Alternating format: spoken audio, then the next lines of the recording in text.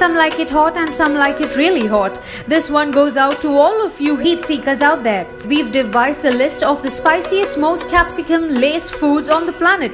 Go out into the world and make us proud, you numb tongued adventurers. Phaal curry. It is one of the hottest forms of curry regularly available, using a large number of ground standard chili peppers or a hotter type of chili such as Scotch bonnet and or habanero.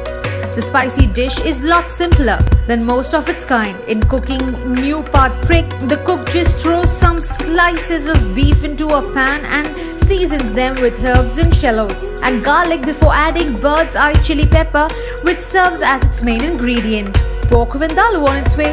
The authentic vindaloo is a dry sauce based dish using pork fat, garlic, vinegar, jaggery and Kashmiri chili.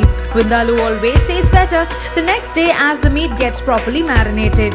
What makes it such a spicy meal is its ridiculous amount of bhut jolokia, the hottest chili pepper in the world.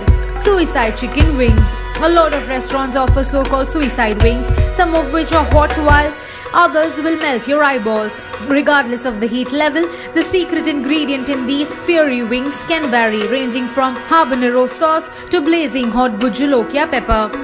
Wat? This one's a spicy dish from Ethiopia. This is very popular among the Africans. This dish is among the sub-Saharan African dishes that are known to be the hottest in the world.